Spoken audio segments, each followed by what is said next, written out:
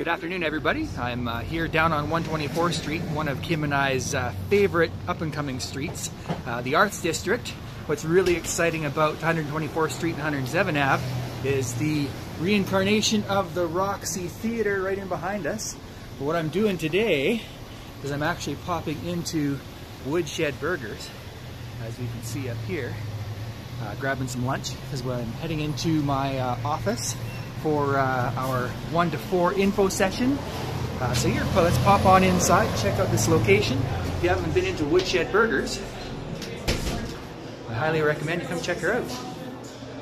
Check this uh, space out.